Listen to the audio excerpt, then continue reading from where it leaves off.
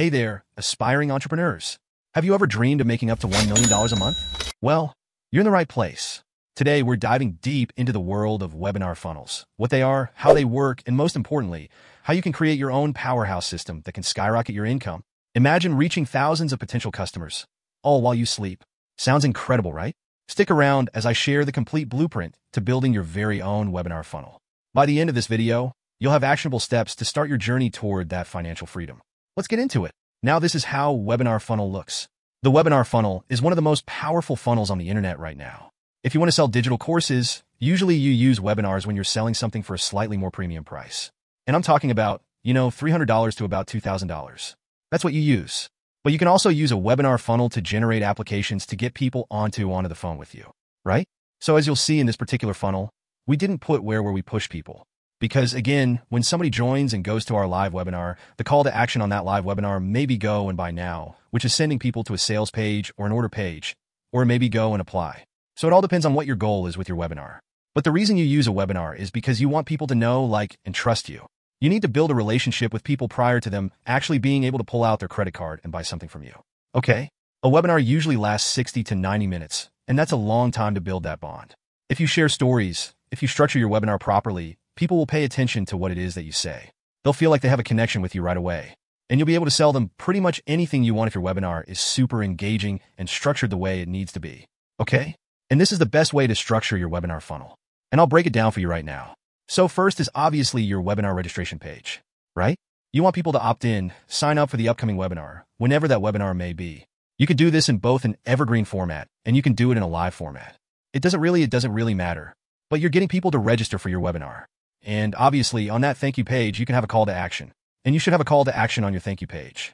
And that could be pitching them a small little one-time offer so that you can start recuperating some of your advertising costs. It could be just sending them to a survey. You could definitely stack on kind of a survey funnel onto this.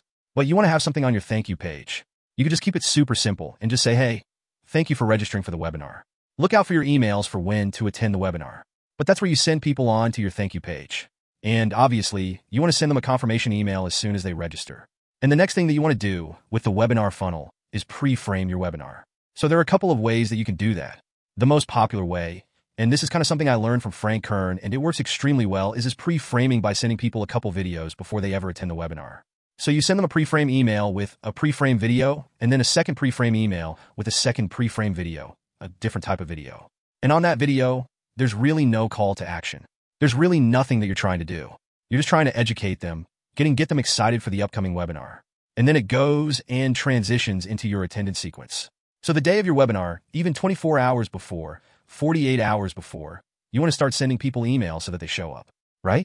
The biggest problem right now with webinars is show up rates.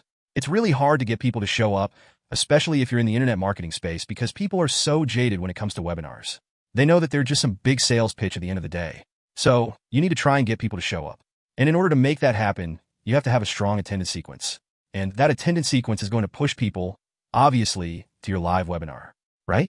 That's the whole point of it, is to push people there. If they go on and take action, great. If they don't, you definitely want to send them that replay so you have your replay sequence pushing people to the replay page. And again, I'll show you how you can stack some of this stuff with other funnels. How you can stack a product sales page over here, a product sales funnel, or an application funnel, depending on what it is that you're trying to do, who your dream client is. So that's the webinar funnel. Again, if you have any questions, let us know. Wow! Now you have a clear roadmap to creating your very own webinar funnel. Remember, it's not just about the tech. It's about connecting with your audience and delivering real value. If you found this video helpful, don't forget to give it a thumbs up and subscribe for more insights that can transform your business. And hey, drop a comment below about what part of the webinar funnel you're most excited to try. I can't wait to hear your success stories. Until next time, keep hustling, and let's make those dreams a reality.